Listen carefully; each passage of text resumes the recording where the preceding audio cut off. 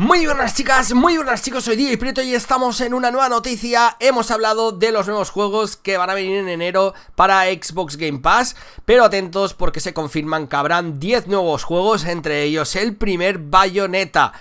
Impresionante, 10 nuevos juegos a partir de enero al servicio de suscripción Dos de ellos que ya os comenté eh, Pero además eh, de eh, los que os dije, ahora van a llegar otros como Bayonetta. En suma, los juegos que nos llegan a partir de enero 2018 serán NBA Playgrounds, Injustice, God Admons, Devil May Cry 4 edición especial, Fusion Frenzy, Metal Gear Solid Ground Zeroes, Dead Light, eh, Zutikon, WRC5 World Rally, Bayonetta y Techno Bone.